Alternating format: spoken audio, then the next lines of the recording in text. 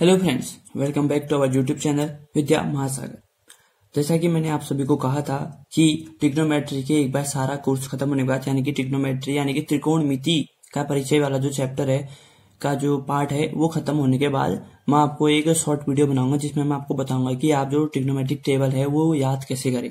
ठीक है? सबसे पहले हमें ये बताना चाहिए कि साइन की वैल्यू कितनी होती है।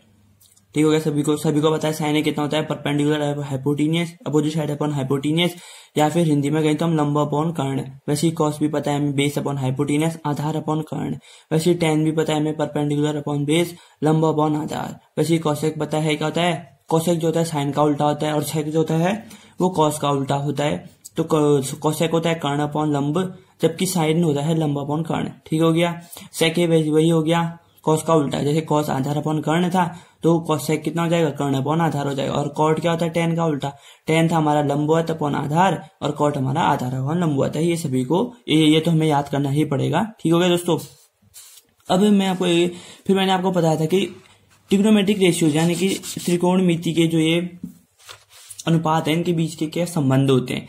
मैंने जैसे अभी बताया कौशेक का उल्टा साइन होता है और साइन का उल्टा कौशेक होता है। ठीक है? तो पता चल गया हमको यहाँ पर। सेक का उल्टा कॉस कॉस का उल्टा सेक होता है। और टेन का उल्टा साइन टेन का उल्टा देखो ये पहले कॉट थीटा होता है और कॉट थीटा होता है वन अपॉन टेन थीटा और tan theta equal to sine theta upon cos theta तो cot theta equal to cos theta upon sine theta होता है। ठीक है? ये हमें समझ गई क्यों? हमने टेन थीटा इतना है तो कॉट थीटा ऐसा क्यों लिखा क्योंकि हमें पता है जो कॉट थीटा है, वो वन अपॉन टेन थीटा होता है। तो इसकी जगह वैल्यू रखोगे तो आपका यही आएगा। ठीक है? तो यहाँ तक हमने ये सबसे पढ़ा था, फिर हमने पढ़ा था ये ट्रिग्नोमेट्रिक रेशियो यानी कि त्रिकोण अनुपात का जो मानक मान होता है, हमने इसके बारे में पढ़ा था।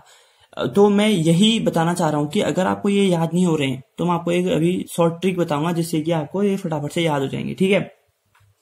तो चलिए शुरू करते हैं। फिर मैंने आपको ये बताया था कि त्रिकोणमिति अनुपात के बीच में क्या संबंध होते हैं। देखो, ये संपूरक कोण के बीच में क्या होते हैं। देखो sine ninety minus theta cos theta होता है cos ninety minus theta sine theta, ऐसी करके कॉसेक सेक और टेन और कॉट के बीच में रिलेशन होता है। फिर हमने पढ़े थे टिक्नोमेटिक आइडेंटिटी मोस्ट इंपोर्टेंट ठीक है? Sine square theta plus cos square theta equal to one one plus tan square theta equal to sec square theta one plus cot square theta equal to cosec square theta ये हमने याद करने ठीक हो गया? अब हम सबसे, अब हम निकालना सीखेंगे कि ट्रिग्नोमेट्रिक वैल्यूज़ कैसे निकालते हैं, ठीक है?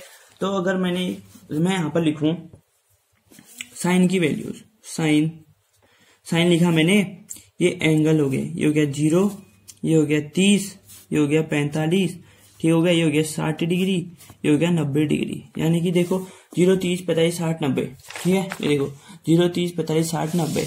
अब मैं अब मेरे को, अब मेरे को कुछ पता नहीं है। अब आप भी मान लो कि आपको कुछ पता नहीं है कि हमको साइन, क्या साइन की ज़ीरो पे वैल्यू कितनी होती है।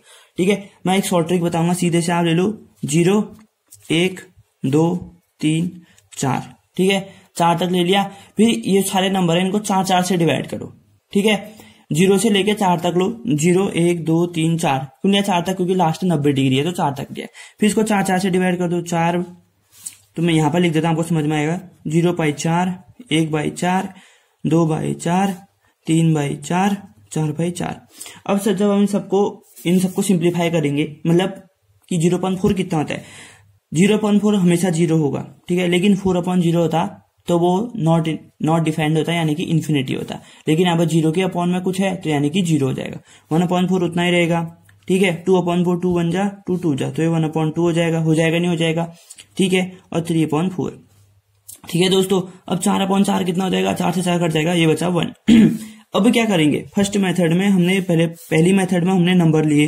Zero one two three four तक नंबर लिए, फ़र्स्ट स्टेप में, दूसरे स्टेप में हमने सभी को चार से डिवाइड कर दिया, फिर तीसरे स्टेप में क्या करेंगे, हम इन सभी का अंडर रूट कर देंगे, ये, अंडर रूट कर देंगे, ये, root three upon four, under root one, ठीक है, अंडर रूट कर दिया, अब देखो, ये जो, अब हमारे यहाँ से साइन की वैल्यू निकल आएगी, रूट ज़ीरो कितना होगा, ज़ीरो ही होगा, ठीक है under root one upon four, one का, वन ये वन इंटू वन होगा तो वन आ गया, और नीचे फोर को फोर किसका स्क्वायर रूट होता है? टू का। तो नीचे आ जाएगा टू, वन अपॉइंट टू। और अंडर रूट, यहाँ देखो, one upon root, under root one upon two है टू है तो ये वन अपॉन रूट टू ऐसा ही रहेगा। ठीक हो गया? और under root three upon four है तो ऊपर आ जाएगा रूट थ्री, नीचे चार की जगह इतना आ जाएगा दो, और एक है एक। देखो, साइन की तीस पे ज़ीरो है, साइन की ज़ीरो पे ज़ीरो है, देखो, साइन ज़ीरो पे ज़ीरो है, साइन थर्टी पे वन अपॉइंट टू है, साइन फोर्टी फाइव पे वन अपॉइंट रूट टू है, साइन सिक्सटी पे रूट थ्री अपॉइंट टू है, साइन नाइन्टी पे वन है। अब देखो कि सही कैसे है देखो।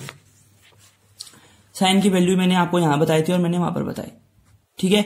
सिंपल तरीके से मैंने आपको ये समझाया। सिंपल तरीके से हम कहेंगे तो यहाँ पर इसकी सीधी सीधी वैल्यू जो है, हम सिंपल तरीके से क्या कहें? देखो, सबसे पहले हमने लिया ज़ीरो से लेके सारे हमने ज़ीरो से लेके चार तक गिनती गिन ले ली। ज़ीरो एक दो तीन चार मतलब कि शून्य एक दो तीन चार, हमको गिनती लिखनी तो आती है, हमने वो गिनती लिखी। फिर फिर हमने उसको चार से डिवाइड कर दिया, ठीक है? फिर हमने उस जो जब चार से डिवाइड किया तो उसका अंडर रूट कर दिया तो हमारी साइन की वैल्यू आ गई। अगर अब किसी को ये इतना लंबा करने में दिक्कत हो रही है यार तो फिर क्या करना पड़ेगा? आपको ये रटना पड़ेगा। साइन की वैल्यू रटनी पड़ेगी। ठीक है भाई? सीधी सी बात है साइन की वैल्यू रटनी पड़ेगी। अब, जब आपको साइन की वैल्यू पता है तो मैं यहाँ पर कॉस की भी निकाल देता हूँ। कॉस साइन की वैल्यू ये इधर को है। ये तीस पे होता है, ये साठी पे हो, ये सॉरी सॉरी ये ज़ीरो पे होता है, ये तीस पे होता है, ये पैंतालीस डिग्री पे होता है, और ये साठ डिग्री पे होता है, और ये नब्बे डिग्री पे होता है, ये हम सभी को पता है। ठीक है दोस्तों? हाँ तो चलिए इसका आगे करते हैं। तो देखो कॉस मैंने बताया था, अगर जिसको याद है, जिसको नहीं भी याद है, कोई दिक्कत नहीं, अब सुन लेना अच्छे से ध्यान से सुन लेना, फटाफट इसको खत्म करते हैं। ठीक है? फिर हमारा चैप्टर भी खत्म हो जाएगा। अब देखो ज़ीरो से ये इतनी वैल्यू आ गई हमारे साइन की। अब कॉस्ट की क्या होती है? उल्टा लिख देंगे। One root three upon two one upon two यहीं पर आएगा। क्योंकि देखो ये एक, दो, तीन, एक, दो, तीन। फिर चार में ये वन अपॉइंट टू आया।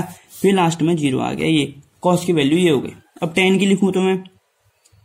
टेन की होती है ज़ीरो अपॉन वन मतलब कि साइन अपॉन कॉस होता ही नहीं होता। है देखो, ये देखो, ये ये ये देखो। Tan theta sine upon cos तो देखो ज़ीरो अपॉन वन कितना होगा? सीधी सी बात है। Zero upon one, zero. One upon two, root three upon two two से टू कर जाएगा तो ये वन अपॉन रूट थ्री हो गया। ठीक है? फिर इतना याद है तो वन अपॉन रूट थ्री हो गया तो यहाँ पर वन हो जाएगा। देखो, one upon root two into के upon one upon root root two से रूट टू कट जाएगा तो बचा कितना? वन। फिर देखो, root three upon two, one upon two है। टू से टू कट गया, बच गया कितना? Root three.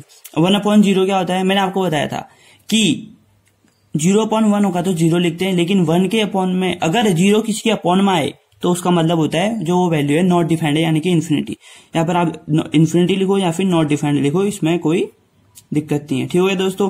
तो ये ये आया आपका। ठीक है? ये वैल्यू आई आपकी। समझ गए आप? अगर जब आपकी साइन कॉस टेन आ गई तो बात खत्म। देखो, हमने, हमको साइन याद था? हमको साइन याद था, नहीं था? तो हमने कॉस निकाला। कॉस साइन कॉस आते तो हमने टेन निकाल लिया। अब हमें साइन कॉस टेन आता है तो हम कॉसेक तो अब अब सब हम हवा में, बिल्कुल इतने तेज लिख सकते हैं, क्या बताएँ? देखो कोसेक सेक और कॉट ये तीन बचे, ठीक है? कोसेक को क्या लिख देंगे? ज़ीरो का ज़ीरो इसका साइन का रेसिपोकल कोसेक होता है, यानी कि वन अपॉइंट टू का रेसिपोकल कितना हो जाएगा? Two one upon root two का रेसिपोकल यानी कि root two root three upon two का रेसिपोकल यानी कि टू अपॉइंट रूट थ्री ठीक है? और वन का रेसिपोकल कितना होगा? वन वन का वन ही होता है वन अपॉइंट वन ठीक हो गया? समझ समझ गए सब? ठीक है? नो ना ना. ये जो ज़ीरो का रेसिपोकल है ना ज़ीरो का रेसिपोकल ज़ीरो नहीं होता है। देखो, मैंने अब भी बताया है जब ज़ीरो के, ज़ीरो किसी के अपॉन में आता है तो वो होता है नॉट डिफाइंड यानी कि वन अपॉन ज़ीरो होता है, ये भी इन्फिनिटी लिख दो या फिर नॉट डिफाइंड लिख दो, जैसे यहाँ पर लिखा था, कोई दिक्कत नहीं। ठीक है उसमें? नॉट डिफाइंड ठीक है दोस्तों? अब देखो, अब अगर हमें कॉस पता है तो हम सेक भी लिख देंगे। कॉस का रेसिपोकल सेक होता है। तो वन का reciprocal one root three upon two का two upon root three one upon root two का root two one upon two का टू ज़ीरो का वही इन्फिनिटी यानी कि नॉट डिफाइंड ठीक है? सब समझ गए बिल्कुल समझ रहे हैं सब शाबाश। ठीक है बबुआ ऐसे ऐसे हुआ है। कैसे कैसे हुआ? ऐसे ऐसे हुआ। जैसे हमने किया। ठीक है? तो फिर अब आप, आप कहोगे यार कॉट कैसे कैसे होगा? तो मैं बता दूँगा ऐसे ऐसे होगा। कैसे कैसे होगा? देखो टेन ये देखो। ये cot zero one upon zero cot not defined हो जाएगा। कैसे कैसे हुआ? ऐसे ऐसे हुआ। यानी कि ज़ीरो का रेसिपोकल कितना था? वन अपॉइंट ज़ीरो वो था नॉट डिफाइंड तो ऐसे हुआ। ठीक है? फिर आप कहोगे कॉट थर्टी कैसे होगा? फिर मैं कॉट मैं कहूँगा कि टेन का उठकर उसका उल्टा कर दो तो वैसे हमारा आ जाएगा। तो ये रूट थ्री हो गया, ये वो है वन ये रूट थ्री का रेसिपोकल कर दो वन अपॉन रूट थ्री अब वन अपॉन इन्फिनिटी अब इन्फिनिटी का उल्टा करोगे ना, ये होता है ज़ीरो तो इसकी वैल्यू ज़ीरो होती है, ठीक है? वन अपॉन इन्फिनिटी ज़ीरो तो अब तो अब आपको समझ में आ गया होगा। अभी तक कोई समझ, किसी के मन में क्वेश्चन होगा कि जो टिग्नोमेट्रिक रेशियोज जो है कैसे कैसे आ रहे थे तो अब उसको पता चल गया होगा कि ये ऐसे ऐसे आ रहे थे। ठीक है? कैसे कैसे आ रहे थे? ऐसे ऐसे आ रहे थे, ठीक है? तो चलिए, इसी पे हम वीडियो को खत्म करते हैं। वीडियो पसंद आए तो लाइक कीजिए, शेयर कीजिए, सब्सक्राइब कीजिए चैनल को। मेरे दोस्त के साथ शेयर कीजिए दो गज की दूरी मास्क है ज़रूरी। अपना और अपने घर वालों का ध्यान रखिए, आसपास साफ़ सफ़ाई बनाए रखें। मिलते हैं आपसे नेक्स्ट वीडियो में। तब तक के लिए thank you for watching take care धन्यवाद।